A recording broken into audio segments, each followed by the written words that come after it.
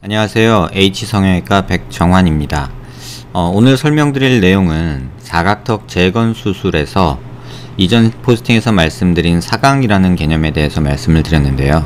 오늘은 Medpor를 이용한 사각턱 재건 수술을 받으신 분의 실제 사례를 통해서 어, 사강이라는 개념에 대해서 조금 더 설명드리고자 합니다. 어, 왼쪽에 보이시는 이 사진 모습은 환자분의 어, 3D 이미지인데요. 겉 표면 이미지를 이렇게 3D 영상으로 보면 이렇게 굴곡이 드러나는 부분이나 음영이 피부색이 제거된 채로 나타나기 때문에 보다 정확하게 환자의 굴곡진 모습을 평가할 수 있습니다. 보시면 약간 이쪽은 불룩한 면이 있는 반면에 이쪽은 떠 꺼진 면이 보이고요. 또 여기도 한물이 보이고 턱 끝에도 약간의 한물이 보이고 약간의 턱의 비대칭도 관찰이 되고요. 한물, 볼록한 모습, 한물 이런 것들이 보이고 있습니다. 어, 우측면을 보시면 사각턱이 재건이 되어서 매드포어가 삽입이 되면서 하악각은 약간 만들어진 반면에 이 앞쪽에 좀 늘어진 좀 함몰된 모습이 여전히 관찰이 되고 있고요. 또 하나 턱이 좀 밑으로 매달린 듯이 돼서 이중턱도 아닌 약간 이렇게 턱진 매달린 경계진 턱 라인과 이렇게 함몰된 턱끝 모양을 볼 수 있습니다. 반대쪽에서도 마찬가지로 귀밑각은 어느 정도 만들어진 반면에 하악각 체부 앞쪽에 있는 이런 부위에는 함물이 약간 관찰이 되고요. 목선과 턱끝을 연결하는 이러한 매달린 듯한 턱끝 모양이 특징적으로 관찰이 되고 있습니다. 고개를 약간 든 모습에서 보시면 이쪽 부위에 함물이 여전히 이쪽과 왼쪽 오른쪽 모두 관찰이 되고 이 교근이 만들어내는 음영과 하악각이 만들어지면서 만들어내는 이 음영이 섞여서 이쪽이 더 꺼져 보이는 모습도 확인할 수 있습니다.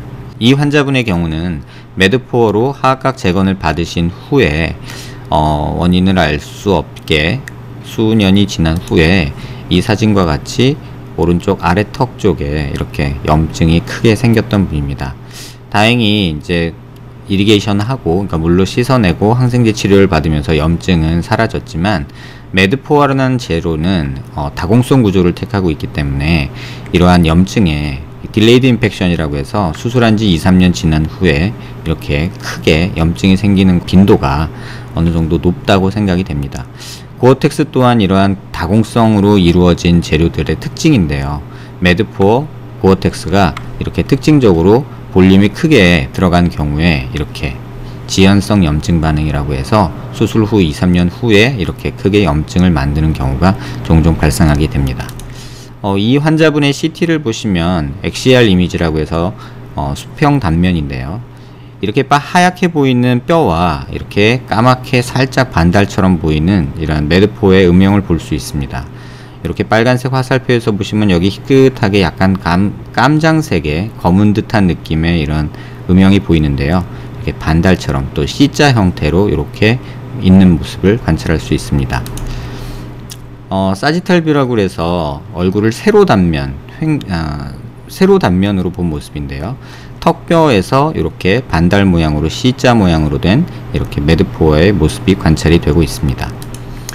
어, coronal section이라고 그래서요. coronal 단면을 보시면 여기도 마찬가지로 이렇게 C자 모양의 Medpor가 관찰이 되는데 이 세 단면 모두에서 뼈와 이 Medpor와의 이렇게 중간에 C자 모양에서 가운데 빈 모습이 관찰이 되는 모습을 확인할 수 있습니다. sagittal 평면에서도 마찬가지고요. C자 모양의 Medpor와 가운데 빈 공간이 관찰이 되고 있고요. coronal section에서도 마찬가지로 C자 모양의 Medpor와 가운데 빈 공간이 흉살로 채워져서 약간 희끄무리하게 보이는 모습을 확인할 수 있습니다. 어, 이렇게 이미지로 정확히 나타나지 않는 것을 이제 어, 이렇게 각 단면에서 이렇게 C자 모양으로 보이는 Medpor의 음영을 따서 이건 자동화되기가 조금 어려워서 현재는 수동으로 뭐 반자동 정도 진행되고 있는데요. 이렇게 매 section마다 이렇게 작업을 해서 3차원으로 재구성을 하면 이게 환자의 CT 음영에서 그냥 추출된 이미지고요. 이게 어, segmentation이라고 해서 Medpor의 음영과 뼈의 음영을 같이 보여주는 이런 음영을 만들 수가 있습니다. 이렇게 3차원으로 재구성된 Medpor의 모습과 뼈의 모습을 두 개를 비교해 보면 Medpor가 삽입되고 이렇게 사이에 약 약간 공간이 이렇게 떠 있는 모습을 확인할 수 있습니다. 옆모습에서도 보시면 Medpor가 삽입된 빨간색, 아, 빨간색의 Medpor를 볼 수 있고요. 어, 이 경우에 조금은 어, 의아한 부분이 개인적으로 있는데요. 보통 이렇게 Medpor를 삽입을 할 때 양악시 삽입됐던 이 plate는 제거를 하고 삽입하는 게 조금 더 이상적이지 않나 개인적으로 생각하고 있습니다. 그 이유는 이렇게 이물질이 뭐 금속이든 폴리머 플라스틱이든 이런 것들이 함께 사용되는 것을 최소화하는 것이 좋고 이렇게 자가 조직을 이러한 이물질이 너무 많이 감싸다 보면 이 주변으로 가는 뼈의 혈류가 차단이 돼서 오히려 염증이 생기고 더군다나 이렇게 사강이 많은 경우에는 그쪽에 차오른 흉살이 혈관이 대부분 잘 자라 들어가지 못해서 어떤 이벤트에서 생기는 어떤 염증에 좀 더 취약한 모습을 보이게 됩니다. 반대쪽도 마찬가지로 플레이트 제거가 되지 않은 채 고정을 위해 삽입된 이렇게 스크류들만 보이고 있습니다. 고개를 들고 보면 하악각은 만들어진 반면에 외측으로 볼륨이 없기 때문에 이쪽 부위에서 특히 함몰이 관찰이 되는 모습을 볼 수 있고요. 또 보시면 양악 수술 시 뼈와 여기 SSRO로 친 부분의 뼈 사이의 공간과 plate 공간이 여기가 비어 있기 때문에 이 공간도 사강으로 작용을 하게 되고요. 또 Medpor가 삽입되고 뼈와 Medpor 사이의 공간도 사강이기 때문에 전반적으로 이쪽 부위에 사강이 dead space라 불리는 사강이 굉장히 많은 것을 알 수 있습니다. 그 모습을 조금 더 자세히 보시면요. 고개를 숙여서 이렇게 보면 plate와 뼈 사이에 이렇게 빈 공간이 보이죠. 이것도 사강이라고 표현을 하고요. 또 Medpor와 뼈 사이에 이렇게 빈 공간이 전반적으로 이 공간에 다 비어 있습니다. 물론 시간이 지나면 이 공간에 어, 흉살이 차오르지만 흉살이 차오른다 하여도 그쪽으로 가는 혈관은 많이 차단이 되어 있기 때문에 어떠한 이유에서든 염증이 될, 생길 수 있는 뭐 면역력이 떨어진다거나 아니면 외부에서 균이 뭐 침투했다거나 했을 때 어, 염증에 굉장히 취약한 그런 모습을 보이게 됩니다. 그래서 Medpor나 고어텍스 같은 경우는 이러한 단점이 있고요. 또 뼈의 모습과 보형물의 모습이 완전히 일치하지 않기 때문에 이렇게 사강이 생기는 모습도 확인할 수 있습니다. 그래서 지금 다시 한번 말씀드리면 뼈와 Medpor 사이에 파란색 화살표 같은 이런 빈 공간이 있는 모습을 볼 수 있고요. 실제로 수술 시 제거한 Medpor와 어, 환자의 CT를 통해서 만든 3D 프린팅된 뼈의 모델 모습에서도 이렇게 빈 공간이 확인이 되고 있습니다. 또 물론 이런 부분에서도 들떠 있는 모습이 관찰이 되고 있고요. 제거된 Medpor의 모습입니다.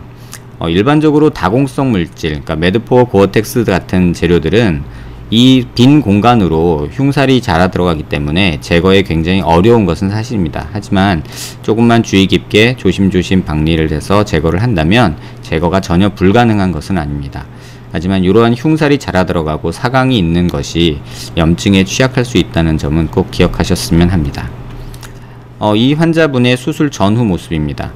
이렇게 전에는 이렇게 꺼져 있는 모습과 울퉁불퉁한 모습이 있었다면 수술 후에 턱근 모습이나 이런 하악각 모습에서 조금은 정리가 된 듯한 모습이 보입니다. 하지만 교근이 만들어내는 음영과 그 교근의 경계 부위에서 이렇게 꺼져 보이는 이 부분은 아직도 조금은 부족한 모습이 관찰이 됩니다.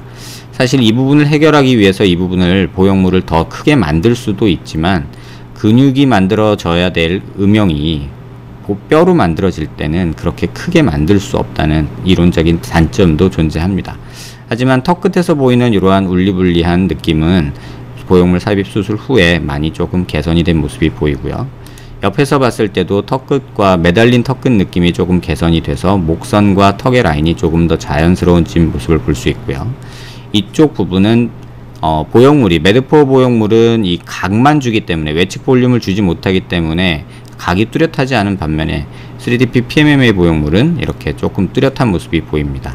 하지만 이 부분은 아직도 조금은 부족한 모습이 관찰이 되고 있습니다. 교근은 이 정도 레벨에서 이제 위치하게 되죠.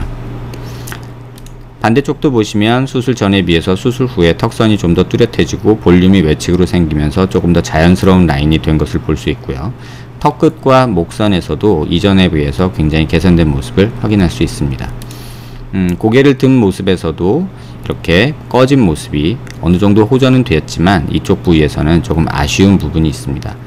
이 부분은 저도 굉장히 많이 고민하고 있는 부분이기는 한데요. 아직까지 뭐 명확한 해답을 어, 얻지는 못했습니다. 기본적인 원칙은 뼈의 문제는 뼈로 풀고 연부 조직의 문제는 연부 조직의 문제로 풀어야 되는데 어, 이 환자분과 같이 여러 수술을 뭐 양악 수술, 사각턱 수술, 사각턱 재건 수술, 또 염증 제거 이런 여러 리프팅 수술 이런 여러 수술을 받으신 분에 있어서는 뼈의 문제와 연부 조직의 문제가 같이 있게 됩니다. 그래서 단순히 제, 뼈 재건 수술을 통해서 그 모든 것을 해결하기는 어렵고 어, 뼈 문제는 뼈 문제로 해결을 하고 연부 조직 문제는 연부 조직으로 문제를 해결해야 된다는 것이 제 생각입니다. 하지만 어, 대부분의 환자들이 그렇게 두 수술을 모두 다 받을 수 없기 때문에 뼈 수술을 하면서 어느 정도 연부 조직의 결손을 조금은 감안해서 약간 외측으로 볼륨을 더 준다든지 아니면 조금 과교정을 한다든지 하는 그러한 어, 고민을 현재도 계속 하고 있습니다. 이 환자분의 수술 전 모습이고요. Medpor로 사각턱 재건을 한 모습이고요. 수술 후 3일째 모습이고요. 수술 후 두 달, 한 달 반 정도 경과된 후의 모습입니다. 수술 후 3일째 굉장히 많이 부어 있지만 첫 수술에 비해서 그닥 많이 부은 모습은 아니고요. Medpor 제거하고 3D PMMA 보형물로 재건을 한 후의 모습입니다. 한 달 반 모습에서 수술 전보다 조금 더 자연스러워지고 턱도 조금 커져서 연부 조직의 울퉁불퉁함도 어느 정도 조금 개선이 된 모습입니다. 하지만 이쪽에 보이는 이런 함몰은 그러니까 경, 교근의 경계 부위에서 만들어진 함몰인데 이 부분은 아직도 조금 남아 있습니다. 아마도 이 부분은 추후에 뭐 보톡스를 맞고서 이 튀어나온 부분을 조금 가라앉게 한다던가 하는 방법을 택하는 것이 오히려 조금 더 낫지 않을까 개인적으로 생각하고 있습니다. 수술 후 측면 모습에서 수술 직후에 보였던 이런 매달린 턱과 이렇게 경계지는 턱선, 서비쿠멘탈 앤들이 굉장히 블런트한 모습인데요. 수술 후 한 달 반 정도 모습에서 턱끝 턱목 각도도 굉장히 좋아지고 전진되면서 볼륨이 좀 커지면서 턱 끝에 이렇게 접히는 모습도 많이 개선된 모습을 확인할 수 있습니다. 45도 측면 모습에서도 이렇게 이중턱 모습을 확인할 수 있고요.